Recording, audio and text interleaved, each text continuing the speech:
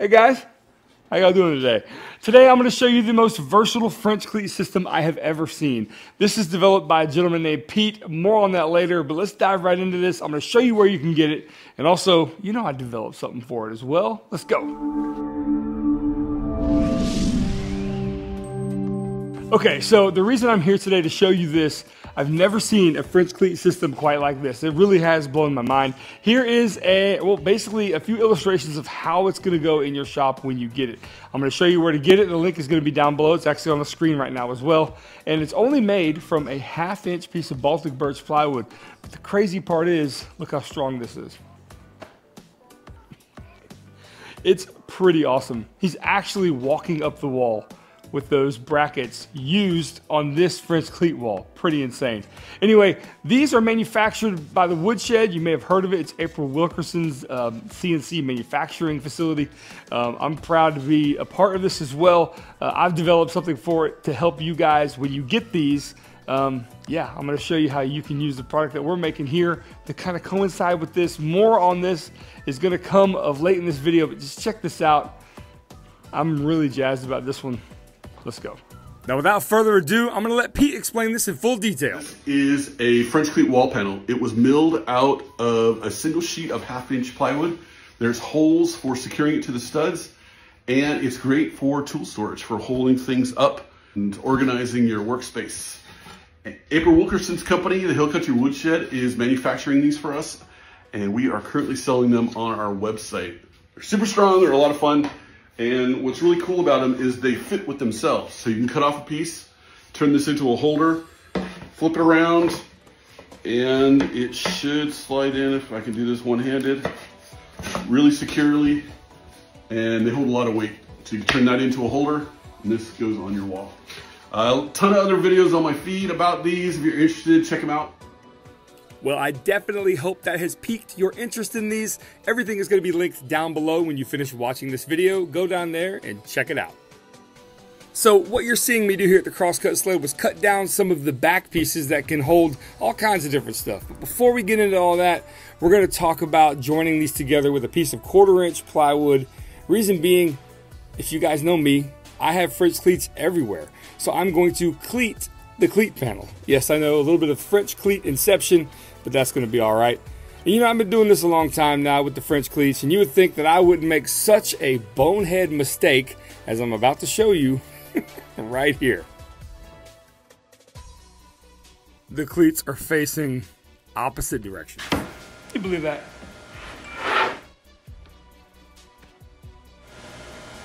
You know, just absent-mindedness. I did it the wrong way. All right, easy fix. Actually, really glad I didn't put any glue on that second panel. I guess maybe somebody knew I was going to mess up, and that's why I didn't do it. Either way, we're going to go ahead and take one of the French cleats that we have cut down. We're going to put it on the back of these panels. I'm going to screw it in. With some of these holes that were mentioned before, these are spaced every four inches for studs, but it really works out to be convenient to go ahead and attach this cleat to it. And then here we go.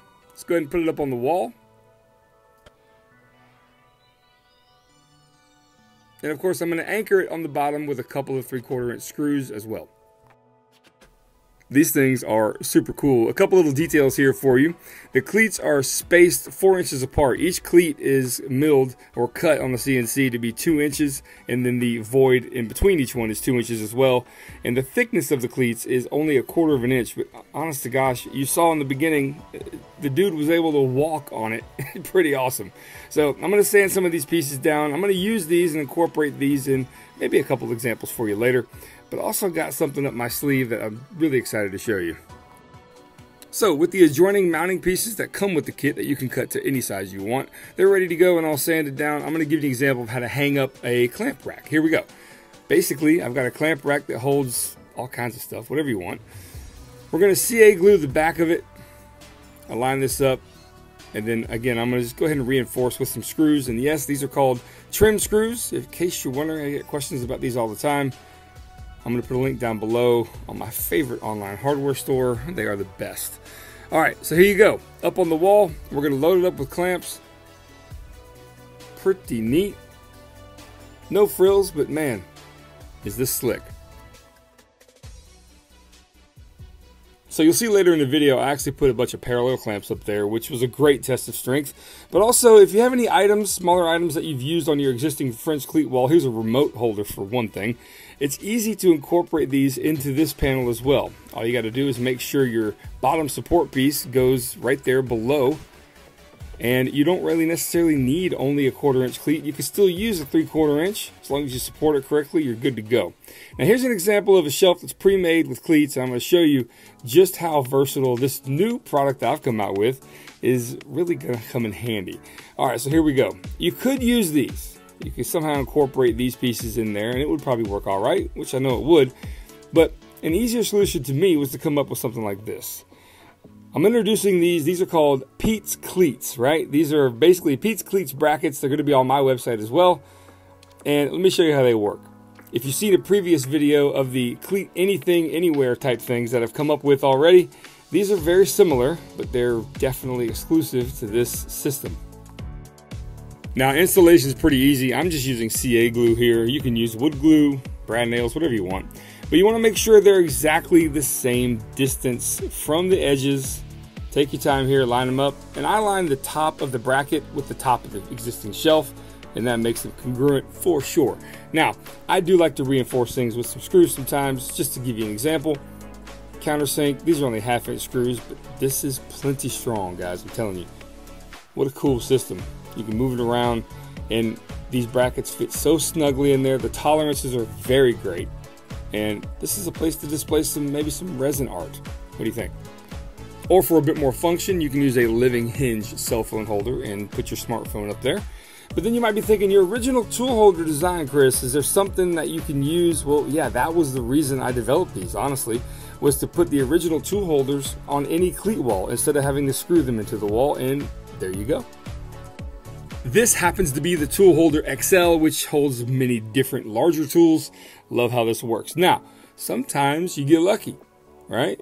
This is a CA glue caddy and it is exactly proportionate for these walls where you don't need to add those cleats. Now, you can if you want to, and you might need to on various other things. I'm actually looking at my cleat wall going, what can I add and give you another example of something that I have? Well, we might as well put something fancy up there, right? I mean, this is the fanciest cleat wall I've ever seen that he made. So why not go ahead and put some woodpeckers accessories up there as well. And this is pretty simple. This is just a small piece of walnut, really thin, that I mounted a couple screws in. Put a cleat on the back so I can hold some of these precision squares. And again, there you go. There's the example of just kind of tacking it in place, putting it on this new system, and fanciness complete. And every maker wants to brand their stuff, and I have a little logo here you thought was just sitting in the window, but nope, it's actually got a little bracket attached to it. Yeah, that's good.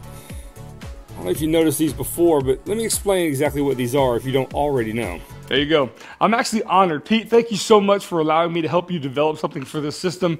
I'm really proud to be a part of this whole process. And also, you see these things right here? These signed boxes and pieces of plywood.